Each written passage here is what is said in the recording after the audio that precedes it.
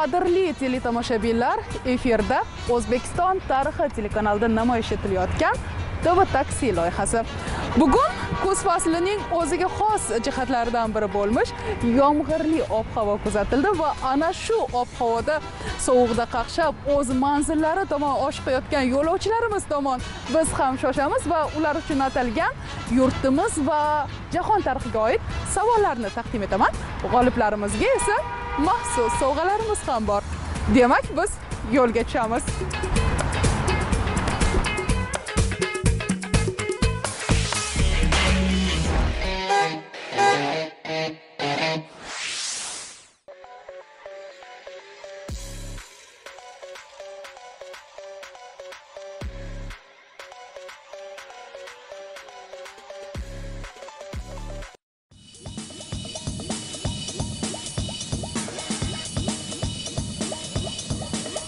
Biz mana hozir a, ishtirokchilarimizni a, o'z manzillariga olib borib qo'yish maqsadida yo'lga otlandik va mana hozir birinchi ishtirokchimiz to'xtaymiz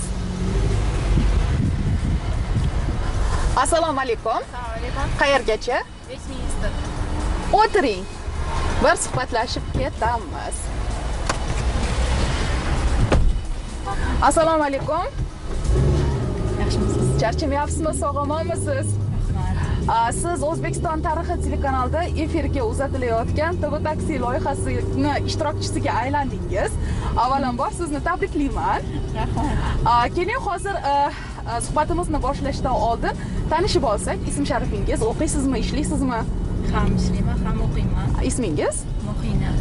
Qayerda ishlaysiz qayerda o'qiysiz Toshkent telekanalida. Toshkent telekanalida ishlaysizmi hamkasb ekanmiz-ku qanday ko'rsatuvlar tayyorlaysiz Informatsionniy chiqamiz. aha demak e, o'sha axboriy dasturlarda a, chiqasizlar qoyilman va sohangizni yaxshi ko'rasiz to'g'rimi Albatta. Albatta. Ota kasb. va bu rolani boshlab beribdilarda otangiz to'g'rimi. Albatta. Hozir men sizga yurtimiz va jahon tarixiga oid uchta savol bilan yuzlanaman. Agar savollarimga to'g'ri javob bersangiz siz uchun o'sha maxsus sovg'alarimiz bor. Agar javob bera olmasangiz e, xafa bo'lmaysiz e, men sizni o'sha olib borib qo'yganim uchun manzilingizga e, sizdan pul olmayman. Demak sizga birinchi savol bilan yuzlanaman. Э, bilasiz xalqimiz choyni sevib iste'mol qiladi. Bitta bizni xalqimiz emas butun dunyo xalqi choyni sevib iste'mol qiladi to'g'rimi? Shuning uchun ham e, qadimda e, yurtimizda choyxonalar bo'lgan. E, choyxonalarda o'sha samovarlarda choy qaynatib ota bobolarimiz yangiliklarni eshitishgan bir biri bilan maslahatli ishlar bo'lgan. Qisqasi choyxonani vazifasi katta bo'lgan va albatta bunda samovarning ham roli bo'lgan. Bilasiz 19 asrda rossiyadan yurtimizga samovarlar kirib kelgan va ko'pchilik o'sha samovardan foydalanishni boshlagan. Biroq biroq samovardan oldin ham yurtimizda samovarga o'xshash o'sha choy damlash choy qo'yish moslamasi bo'lgan. U nim- nima deb atalgan? Qisqasi a, samovardan ancha yoshi katta nima deydi qadimdan o'sha bizning ota bobolarimiz foydalanib kelgan bu narsadan Ko'zamikin. A, shakli ko'zaga o'xshaydi yordam beraman xohlasangiz variantlar bor a variantimiz obdasta b variantimiz qumg'on c variantimiz fonus Obdasida qaynatilganini eshitmaganman. Mhm. Oxirgi variant nima edi? fonus Fanus. Manimcha u svet yoqiladigan narsa shekilli. Mhm. bu qumg'on a, qumg'on yoki ch- cho'lgun deb ham ataladida qumg'on mana A, a, aynan bu variantimizda o'sha qumg'on nima qildim qumg'on yoki chovgum deb atalgan javobingiz to'g'ri bu narsada mana samovarlarda ham tagiga o'tin yoqib keyin unga suv solib obdon qaynatilganda uni mazasi juda yam boshqacha bo'lganda shu jumladan chovgumda qumg'onda qaynatilgan suvning ham o'ziga xos mazasi bo'lgan. Sizni birinchi muvaffaqiyatli javob bilan tabriklayman. Ikkinchi savolni e'tiboringizga havola etaman. Toshkentni bilasiz. Amir temur xiyobonini ham bilasiz. Amir temur xiyobonida e'tibor bergan bo'lsangiz ikkita kurant qad rostlab turibdi. Bu kurantlar toshkentimizning o'ziga xos ramziy kuranti hisoblanadi. Sizga ma'lumot o'rnida aytib o'taman. Birinchi kurant 1947 yilda ikkinchi jahon urushida erishilgan g'alaba sharafiga o'rnatilgan. Yonidagi ikkinchi kurant nechinchi yilda bunyod etilgan? 2000 yildan keyin. To'g'ri. Xohlasangiz bunga ham variant beraman. A variantimiz 2007 yilda b variantimiz 2008 yilda c variantimiz 2009 yilda. 2007 2007 yilda. A, nega endi shu javob variantida to'xtaldingiz? Hayolimga o'zi 2007 kelyotgandi A, demak sizga variant taqdim etishimdan oldin ham. Hayolingizda bor edi bu narsa to'g'rimi? Javobingiz biroz noto'g'ri desa xafa bo'lmaysizmi boshga tushgan ko'z kerak A, xabaringiz bor 2009 yilda toshkentning 2200 yilligi nishonlangan. Ayni mana shu yilda toshkentning xuddi o'sha kurantga o'xshash ikkinchi kuranti qurib bitkazilgan va toshkentning 2200 yilligi munosabati bilan ochilgan 2009 yilda. Bu bo'lmadingiz. Maktabga chiqqan yilim ekan ha vaholanki u siz uchun endi bu narsa esingizda qoldi albatta. Uchinchi savolni e'tiboringizga havola etaman. Bir ming sakkiz yuz to'rtinchi yilda fransiya imperatori unvoniga sazovor bo'lgan tarixiy shaxs nomini ayting. Yo'q aniq bilmayman. Variant beraman. Birinchi variantimiz lyudovik o'n sakkizinchi ikkinchi variantimiz napoleon bonapart uchinchi variantimiz suvorov napoleon bonapart bu yana tavakkal mana tavakkal va taxmin taxmin taxmin napoleon bonapart eshitganman ikkita berilgan variantdan to'g'risi birinchi marta eshitdim A, suvorov bilan lyudovik o'n sakkizinchi haqida un- uncha ko'p ma'lumotga ega emassiz to'g'rimi haqiqatdan ham bir ming sakkiz yuz to'rtinchi yilda fransiya imperatori unvoniga napoleon bonapart sazovor bo'lgan. Ah, mana ko'rdingizmi savollarimiz u darajada qiyin emas to'g'rimi? Va ah, bunday o'ylab qaralganda variantlar ham sizga baribir nimanidir eslatadi. Ah, chunki maktabda baribir ko'pchilik aytadiki tarix qiyin fan yillarni eslab qolish qiyin o'shaning uchun ko'p narsani eslab qololmaymiz deyishadiyu lekin a, variant taqdim etilganda mana shu joyini o'qigan edim deyishadida. Chunki ko'pchilik yo'lovchilarimizdan bu fikrlarni eshitaman. Aytib o'taman qisqasi a, kelgusida qanday rejalaringiz bor niyatlaringiz maqsadlaringiz bor? Tarix fanni o'qish kerakligini tushundim. O'qishga topshirgan yilim ham biroz o'qiganman. Uddasidan chiqa olmaganman. Tarix bilish mana bir kun kerak bo'lar ekan baribir tarix har bir sohada har bir sohada chunki har bir narsani o'z tarixi borda har bir voqea hodisani har bir holatni o'z tarixi bo'ladi va albatta uni o'rganganingiz sari a, tarixning yangi yangi yangi qirralar o'zingiz uchun yangi yangi yangi ma'lumotlar bilib boraverasiz. Mana shu ishimiz yuzasidan o'zimizda ham bilmagan a, narsalarimizni o'qishga o'sha bilmagan ma'lumotlarimizni bilib olishga to'g'ri keladida. Mana manzilimizga yetib kelib qoldik. Ishlaringizga omad tilab qolamiz. Yaxshi yetib oling, omad. ko'rishguncha.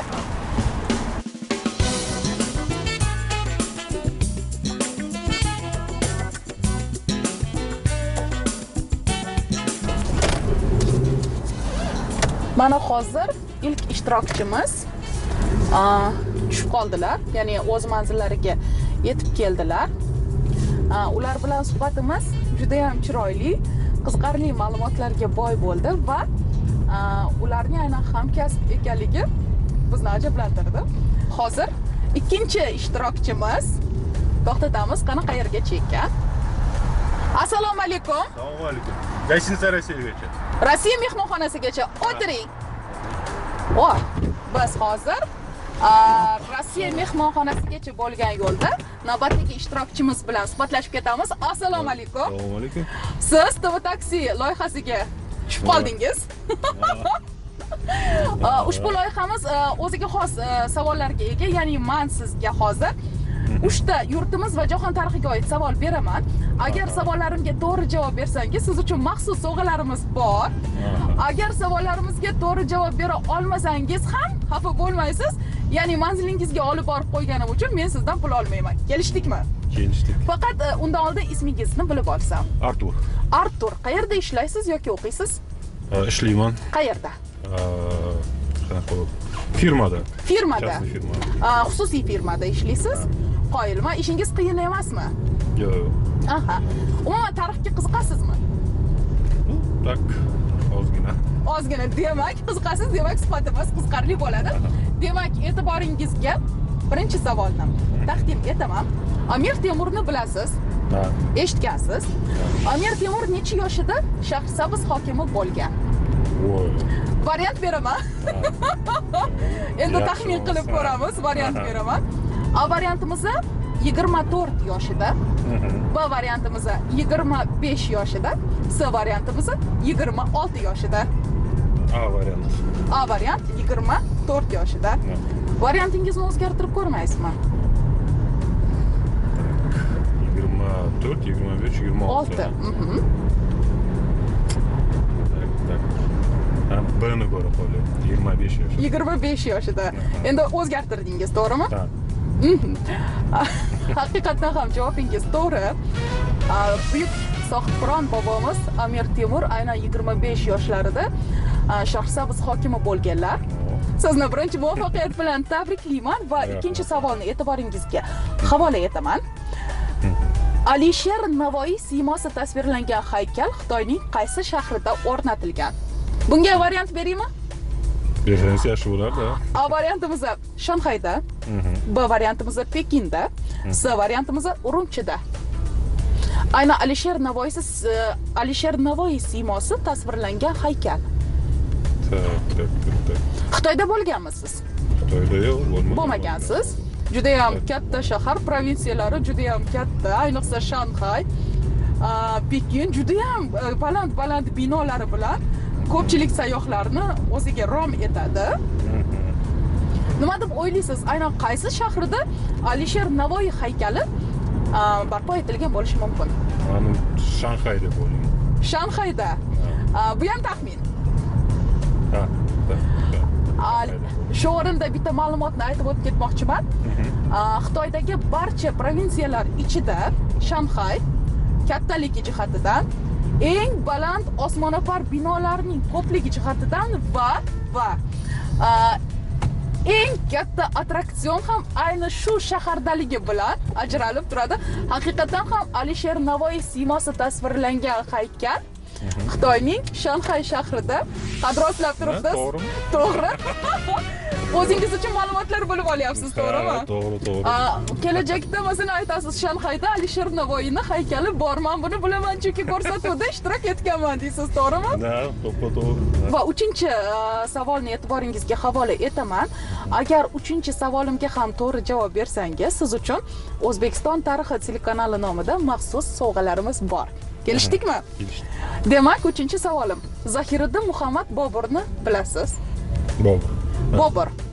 Hindistonda ham shoh ham shoir bo'lib o'sha ko'plab e, obidalar qurdirgan hindistonda. Hozirgacha hindlar zahiriddin muhammad boburni judayam e, qadrlaydi yaxshi ko'radi. Ayniqsa bobur avlodlarini qadrlashadi. Qisqasi sizga beradigan savolim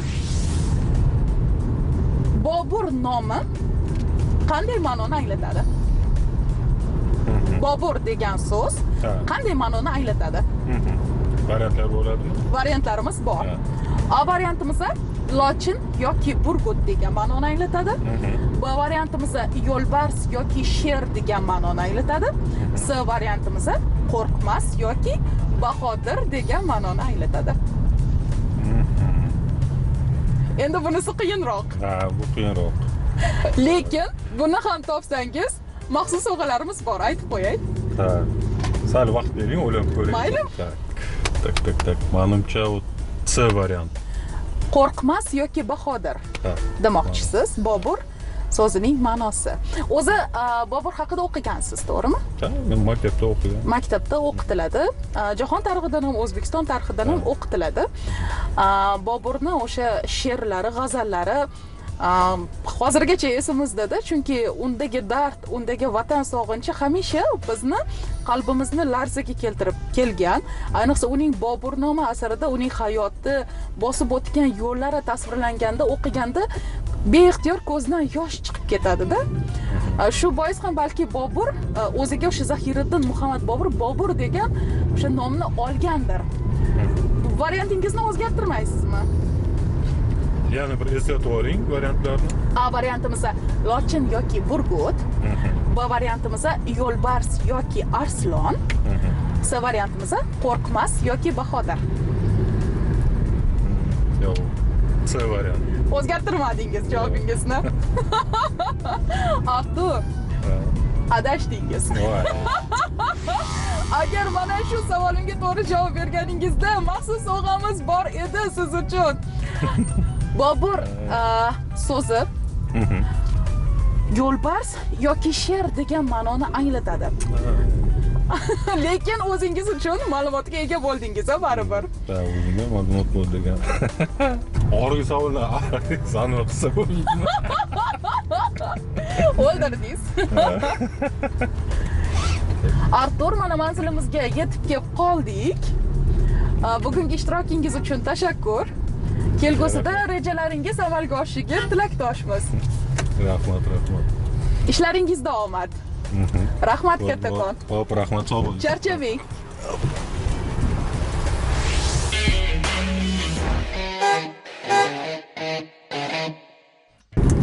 navbatdagi ishtirokchimizni o'z manzillarida qoldirib biz yana yo'lga tushyapmiz. Oxirgi ishtirokchimiz kim bo'lar ekan? Bu bizni ham qiziqtiryapti. Yunusobod Samara. assalomu alaykum. O'tiring. 15. O'tiring. Orqaga o'tiring. Assalomu alaykum. Yaxshimisiz? yaxshimisiz? Charchamayapsizmi? Ishdan kech chiqibsiz. Ha, yo'q. Yaxshi yuribsizmi? Avvalambor assalomu alaykum siz o'zbekiston tarixi telekanalining taksi loyihasiga tushib qoldingiz. Rostdan. Voy, unda to'xtating. yo'q yo'q yo'q to'xtatolmayman afsuski afsuski. Aa, bu ko'rsatuvimizni bu loyihamizni o'ziga xos maqsadi bor. Ya'ni biz yo'lovchilarni manziliga olib borib qo'yish barobarida ularga yurtimiz va o'zbekiston tarixiga o'zbekiston va jahon tarixiga oid savollar beramiz. Variantlari ham bor yordam beraman. Agar savollarimga to'g'ri javob bersangiz siz uchun maxsus sovg'alar bor. Agar to'g'ri javob bera olmasangiz xafa bo'lmaysiz lekin men sizni manzilingizga olib borib qo'yganim uchun pul olmayman. Ey, ajoyib bo'ldi bu avvalambor tanishib olsak ism sharifingiz Umida ismi. umida ishlaysiz o'qiysiz Ishlayman. qayerda ishlaysiz Milliy bankda ishlayman. o bank xodimisiz. Bugun e, yomg'ir yog'di to'g'risi qilib kutilgan e, yomg'ir yog'di. Umuman kuz faslini qay darajada yaxshi ko'rasiz? Har bir fasl o'ziga yarasha e, chiroyi bor. albatta. Albatta bu fasllar ham o'ziga yarasha. Ob-havolari, tabiati bilan o'ziga yarasha chiroyi bor. aha. O'ziga xos qandaydir insonga zavq shavq beradi. Tabiatni rang barangligi yog'ayotgan yomg'irlar umuman havoning tozalanishi bularning hammasi kishiga baribir ijodiy qandaydir bir zavq beradi. To'g'ri aytasiz. umida hozir sizga taqdim etadigan savollarimning barchasi bobur va boburiylar sulolasiga taalluqli. Demak birinchi savolim. Hindistonni bilasiz. Hindistonda muhabbat ramzi bo'lmish. Toj mahal qad ko'tarib turibdi aynan e, boburiy shahzodalaridan biri shohjahon. E, o'sha o'z muhabbatini ramzi sifatida qurdirgan uni. Mana hozirgi kungacha toj mahal e, ko'pchilik sayyohlarni o'ziga jalb etib keladi. Hindistonga borgan sayyoh borki albatta toj mahalga boradi aylanadi ziyorat qiladi. U yerdagi o'sha har bir detalni hatto ular e'tibordan qochirmaydida. sizga bermoqchi bo'lgan savolim aynan toj mahal nechinchi asrda bunyod etilgan. Variantlar bormi? Bor. A variantimiz o'n oltinchi asrda b variantimiz o'n yettinchi asrda s variantimiz o'n sakkizinchi asrda.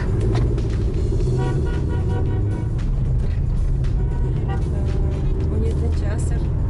o'n yettinchi asr. Bu taxminmi yoki qandaydir bir esingizga tushib ketdimi?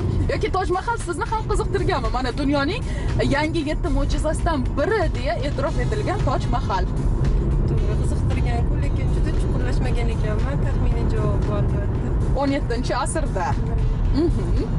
sizni birinchi muvaffaqiyat bilan tabriklayman haqiqatdan ham muhabbat ramzi deya e'tirof etiluvchi toj mahal 17 asrda. Boburiy shahzoda shohjahon tomonidan bunyod etilgan. Tabriklayman sizni lekin e, albatta yo'lingiz tushganda hindistonga borganingizda toj mahalni ziyorat qilib o'tishingizni maslahat beraman. Chunki e, toj mahalning ana o'ziga xosligi ham undagi bir birini takrorlamaydigan e, detallarda deb bilamanda. Bu narsa haligacha insonlarni qiziqtirib keladi. Qanday qurilgan ekan aynan 17 asrda deyishadida. Ikkinchi savolim. Qaysi asar? Turkiy nasrning eng yaxshi asari deya e'tirof etilgan. Yordam beraman ushbu asar dunyoning 31 tiliga tarjima qilingan. Unda buyuk sarkardaning faoliyati muvaffaqiyatlari va muvaffaqiyatsizliklari harbiy yurishlari qisqasi uning har bir qadami o'sha yoritilgan bayon etilgan. Qaysi asar bu? Variantli bera mayli bera qolaman a variantimiz boburnoma b variantimiz hamsa dostoni s variantimiz jahongir noma. Boburnoma boburnoma buni hech ikkilanmadingiz. Yo'q tavakkal qil- qilmadingizu lekin baribir oltmishga qirq darajada javob berdingiz to'g'rimi? To'g'ri.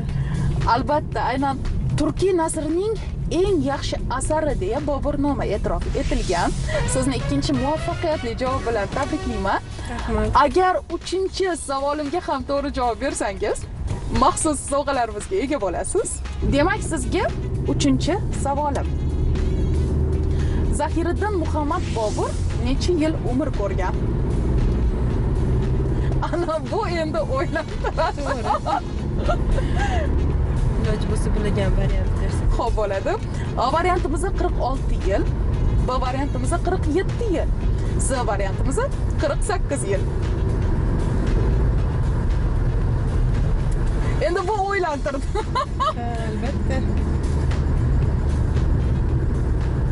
1483 yilda zahiriddin muhammad bobur andijonda tavallud topgan. Qirq yetti yosh.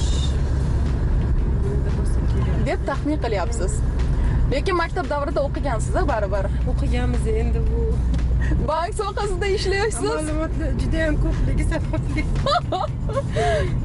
to'g'ri. Haqiqatdan ham zahiriddin muhammad bobur 47 yil umr ko'rgan lekin mana shu 47 yil davomida ulkan saltanat yaratib umuman o'z avlodlariga tatigulik boburnoma asarini qoldirib katta bir ishlarni amalga oshirgan zahiriddin muhammad bobur. Qisqasi asrga asrlarga tatigulik umr bo'lgan bu. Umida sizni tabriklayman. Rahmat. Э, xursand bo'ldim. Bugun ochig'i e, xafa bo'lib kelayotganim nahotki bugun hech kim sovg'alarimizga ega bo'lmasa nahotki? Shundoq bir yutadigan inson chiqmasa degandim lekin taxmin qilsangiz ham ko'pi to'g'ri chiqdi to'g'rimi? To'g'ri. Odatda mana taxminlaringiz qay darajada oilada hayotda ishda qay darajada to'g'ri chiqadi taxminlarim ko'pincha foyda keltiradi. Aha buni sinagansiz amalda? Juda ko'p. Aynan yutuqlarimda yaxshiliklarda Mhm. ko'pincha ichki hissiyotlarim to'g'ri yo'l ko'rsatgan. Qoyilman.